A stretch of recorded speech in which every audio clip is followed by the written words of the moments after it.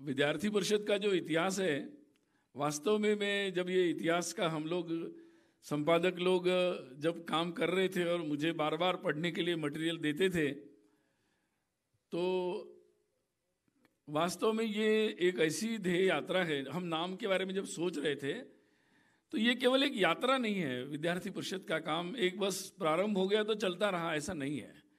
इसके, इसका महत्वपूर्ण बिंदु क्या है? जिसके कारण ये यात्रा चल रही है, अविरत चल रही है, उसी दिशा में चल रही तो जो उसके साथ एक ध्येय जुड़ा हुआ है, ध्येय के साथ जो तत्व जुड़ा हुआ है, वो बहुत महत्वपूर्ण है। क्योंकि किसी भी काम में जब तत्वनिष्ठा होती है, तभी वो कार्य सही दिशा में और उसी ऊर्जा के साथ चल सकता है। और इसीलिए हम सब उसी तत्व और उसी ऊर्जा के साथ चलने वाले ध्येय यात्री बन गए हैं। और इसीलिए मुझे लगता है कि ये जो नाम सोचा गया सब लोगों के विचार विमर्श से ये बिल्कुल सटीक नाम इस ध्येय यात्रा, इस पुस्तक को दिया गया है। कई स्मृतियाँ हम लोगों के पास आती हैं।